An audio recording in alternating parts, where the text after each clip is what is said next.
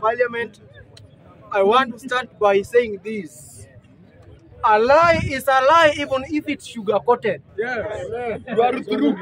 A lie is a lie even if majority are following the lie. So when somebody is foolishly lying to these honorable members and is genuinely lying, at least you should be a rightful liar. But this one, you are a wrongful liar. The issue of bipartisan talk, you mentioning only one member who pocketed some good amount of money. What about the colleagues from your camp? Yes, you are very wise. That was just by the way, to hit on the point. The way.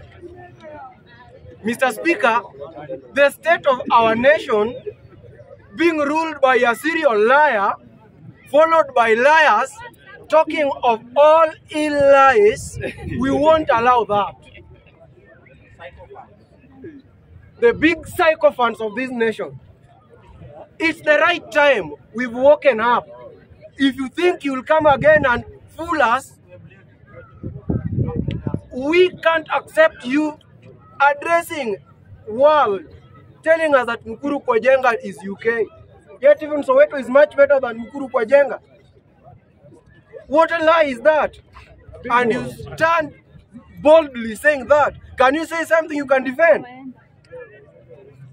Mr. Speaker, as I conclude, I want to be brief as a goat's tail. Number four, get ready.